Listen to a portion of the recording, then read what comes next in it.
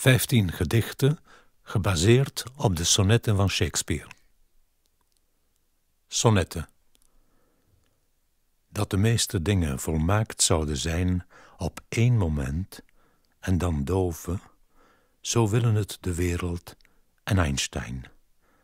En dat de mensen groeien als lover onder eenzelfde luchtvervuiling en gelijk vergaan in de herinnering, zo verzekert het de tijd die in mijn nekvel bijt. Daarom moet ik nu radeloos dat ene moment loven dat ik jou zie uitgestald, je jonge tover als nooit tevoren, een naakt monument dat straffeloos voor mijn ogen voorovervalt. Als er niets nieuws is in dit avondland, maar alleen wat er geweest is vanaf het begin, wat kan ik uitvinden dat niet falikant een eerder geboren kind verzint? Jij staat al Etruskisch, Helleens, Azteeks op ansichtkaarten aan de wand gepint, te lonken, te koop, al te zeer bemind, mijn eeuwenoude jonge feeks. Hoe zou die antieke wereld reageren tegenover het huidig mirakel van je lijf? Blijven geloven dat geen ogenblik ooit zonder herinnering kan genereren. Die oude rakkers wisten vast geen blijf met jouw eenzelvigheid, net zo min als ik. Ik dacht, ik ben heel vaak een hond. Ik wacht wel op de wintertijd. Die grift straks lijnen rond haar mond of op de listige lente die haar benijdt en voren graaft in het veld van haar vel, en dan is zij als ik, beschadigd.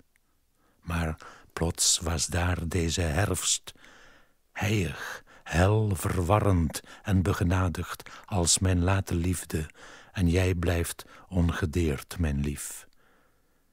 Ik durf te vermoeden dat mijn koude je nooit zal bereiken, dat je nooit verbouwereerd door mijn diep vrieslucht van mij zult wijken.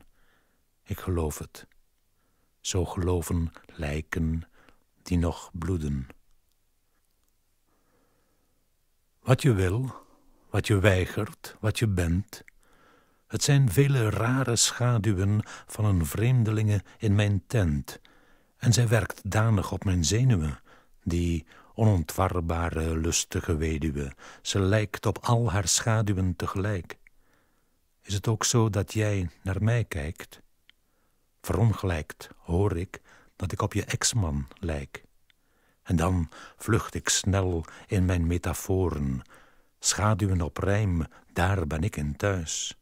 Bijvoorbeeld retorisch, dat je smaakt als lentegras. Of onlogisch, dat je buigt als het koren, of typisch, dat laatst je bovenlip onkuis was, als het dons van je muis. Zag een schimmel die stond te dampen toen de hemel het water uit zijn manen zoog. Zag een zwarte wolk likken aan een regenboog. Zag flamingo's, vliegende honden, hongerkampen zag gisteren nog hoe onschuldig het nat gazon was bespat met sprankels zon. Het was alsof, het leek alsof, het kon de iris van je ogen zijn, vermenigvuldigd. En ik vergat ruimte, reden, tekst. Ik sloeg naar een onbestaand insect als naar jouw beeld. Sinds jou is mijn blik behekst, heb ik nog meer versplintering verwekt, en niet één fragment geheeld. Kraaiend onder de douche over jou alleen werkte voor één keer mijn gezond verstand. Ineens verstond ik, daar in de handstand, dat jij mijn beter deel bent. Homogeen. En dat wij daarom beter sereen gescheiden zouden leven. Het klinkt gemeen, bijna obscene, maar alleen zo kan ik jou jouw deel geven Afwezigheid zou pas aan mij vreten als ik niet aan jou dacht als aan een één die al mijn tellerramen verenigt. Daarom vereer ik de afstand en de nacht alleen. Alleen zo maak ik van jou één een twee, met twee begeerten, levend onbevredigd. Dat ik mijn ik te zeer bemin, zeker, graag.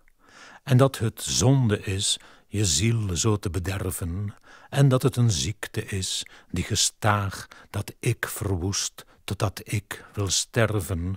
Oké, en dan? Mag ik een spiegel als maat? Mag ik dansen tot ik al mijn tonen ken? Het komt omdat ik al te laat heb ingezien dat ik verziende ben en daarom de nederlaag van mijn wezen nooit terdege heb kunnen controleren. Daarbij, daarvoor ben jij, vooral als ik blind op jou rij. Alleen wat jij in mij wilt lezen, wil ik nog leren. Daarnet deed mijn maag pijn van nijd, en waarom, bij God, ik weet het niet. Lieg niet, man het was om een futiliteit en het is afgunst die je klieren gebiedt.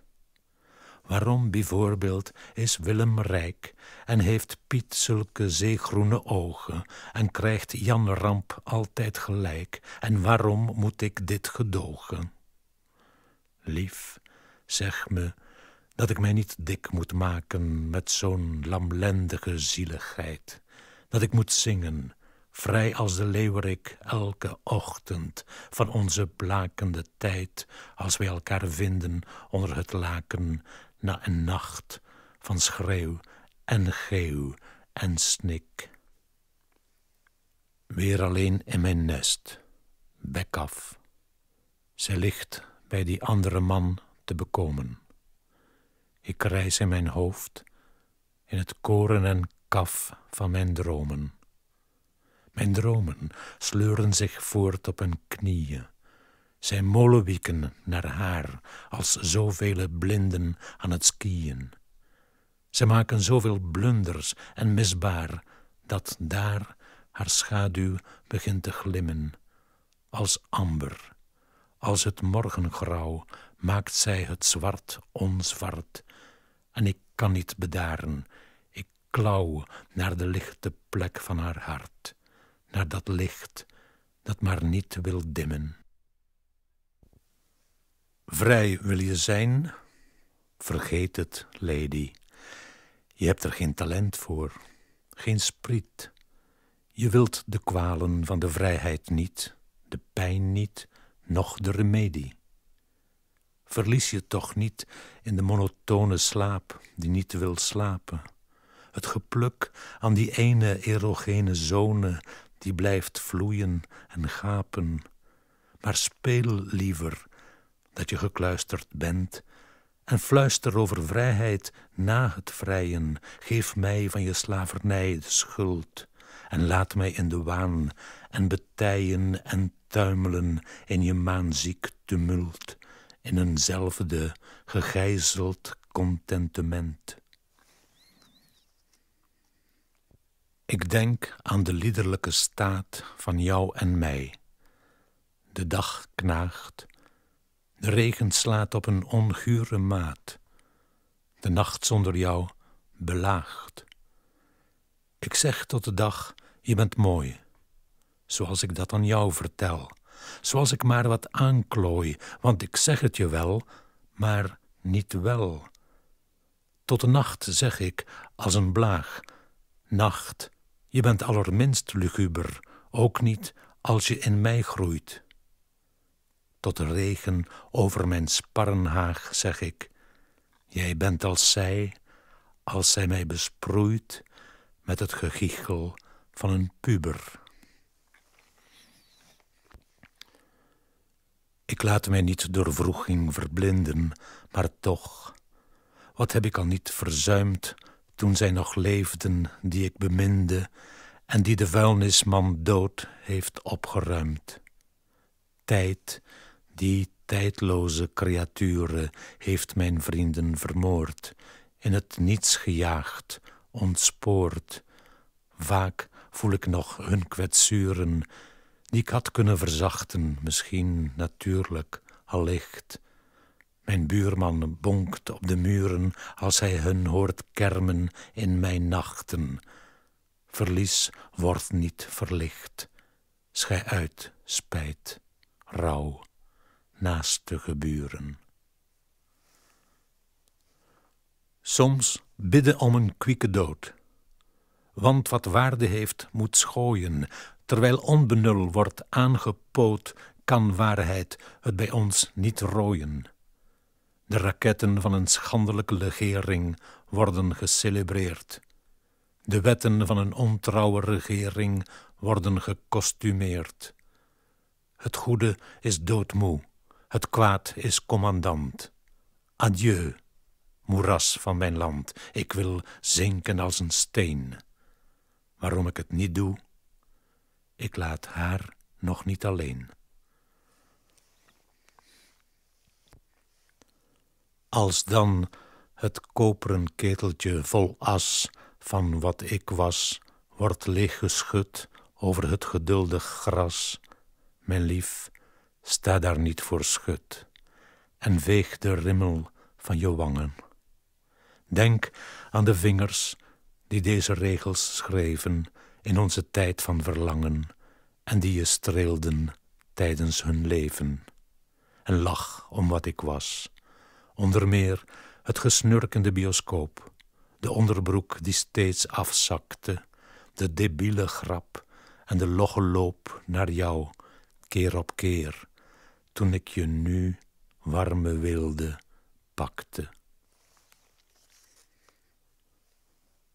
Jaren geleden kon ik dromen, o infantiele profetische ziel van de dingen die zouden komen, fataal als de uitvinding van het wiel. Nu is de wereld sterfelijk als ik en daarmee uit. Alleen onzekerheid geeft mij een kik. Ik geloof geen fluit. Dromen jaag ik naar de zolder waar de domme kinderen wonen. Ik lieg. Er is nog één dolle kolder, en dat is zij, waarover ik bericht in dit gelovig klinkgedicht, de laatste van mijn demonen.